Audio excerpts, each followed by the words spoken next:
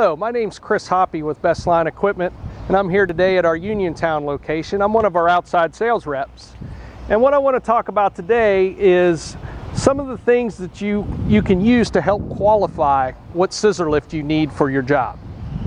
So what we're going to do is take a look at these and learn a little bit about what the different heights and widths mean. So for example, on this machine here, this is a 20 foot high scissor that's 32 inches wide. The reason that's important is let's say that you need to get up 25 feet. The thing to know is, do you need to reach that 25 foot with your feet or with your hands? This machine being a 20 foot scissor lift, that'll get your hands at about 26, 27 feet, and that's your working height.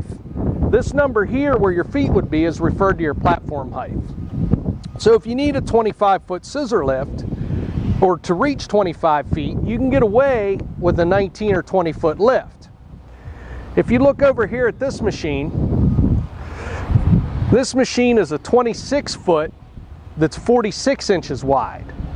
So if you know that you only need to reach 25 feet, you can save yourself a little bit of money by going with a 20 foot machine. Now, talking about how high you need to go and what the platform height is, is which is where your feet would be, and your working height is which is where your hands would be. That's that's one thing to consider. Another thing to consider is how wide the lift is. This machine here is 46 inches wide. Now, the nice thing about that, if you have the room, if you have double doors to go through to get into where you're working, and you've got wider wider entryway and wider hallways, is you get a wider deck. So it's much easier to fit your guys and your materials and you have some room to move around.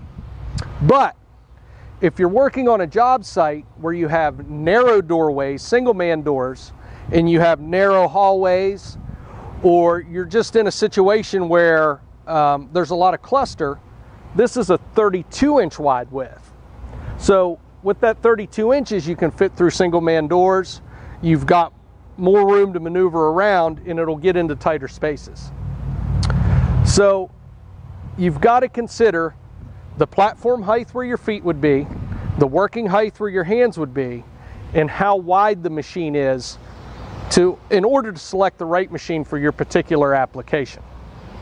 Now if you look at this machine over here, this machine is a 1230 ES. So its platform height would put your feet at 12 feet. It's 30 inches wide, which would allow you to reach about 15 to 17 feet.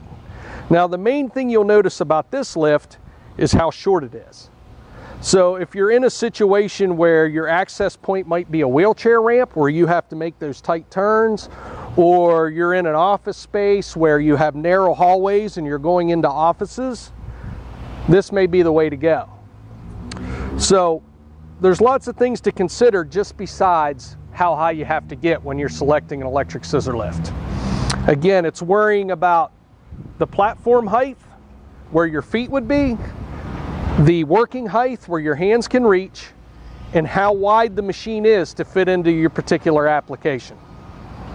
If you're still unsure or you need help, the Best Line sales reps, we will be glad to come out, take a look at your job site, do some measuring and talk through and make sure you're getting the lift that fits your application and do it for the most value and to give you the most time and maneuverability to get your job done. So thank you. I appreciate your time.